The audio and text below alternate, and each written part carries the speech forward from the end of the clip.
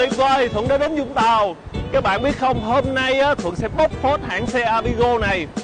Thuận vừa đáp một chuyến bay rất là dài về thành phố Hồ Chí Minh Sau đó là phải di chuyển bằng xe từ thành phố Hồ Chí Minh về tới Vũng Tàu.